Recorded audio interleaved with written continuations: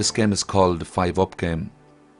It emphasizes passing, shooting, movement on and off the ball, creating and denying space, team play, and decision making. The aim of the game is to complete a minimum of five successive passes before a score attempt.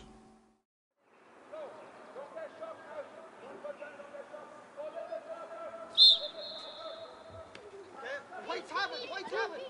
One. Let's go. Who's looking? Two. Three. Three passes, come on. All right. Greens have it, greens have it. Give it, Liam, give it, pass. Okay, down on it, down on it.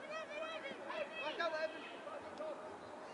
Okay, let's go. Whites have it. Come on, down on it. Well done.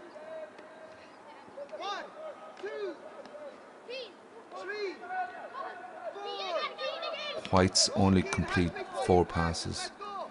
The score would not have counted. Okay, white ball, white ball, sideline. Who's looking for it? Give it, give it quick. One, two, pass, three, four, five. You have five, you have five. All right, white ball, white ball, hard work, white ball. Good ball, one. No, no, green, greens have it, greens have it. Come on, pass, move. One, go, whites have it. One.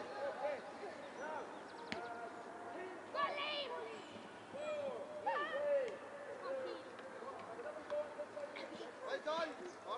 Down, down. Pass, pass. One. Greens complete five passes but shoot under pressure. Greens do very well to complete the five passes. The mistake made was to kick the ball under pressure. As coaches, we need to emphasize that just because we completed the task of five passes, it still might not be the right decision to shoot. Hold on for a second, okay? Get your positions. Here we see a sequence that shows good team play, good decision making, and good movement, where. Greens move the ball from one goal to the other with five passes to score.